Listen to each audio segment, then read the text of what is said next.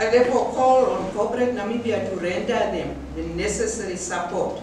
That's now the corporate people out there to render to you the necessary support, which you will need, because you, these people, you are our eyes and ears at a regional level.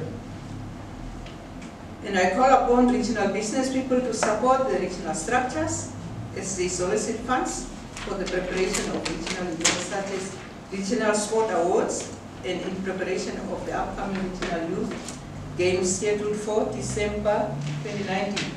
Let's also build not only with the uh, uh, corporate world, but also with our councils and so on, that nice working relationship.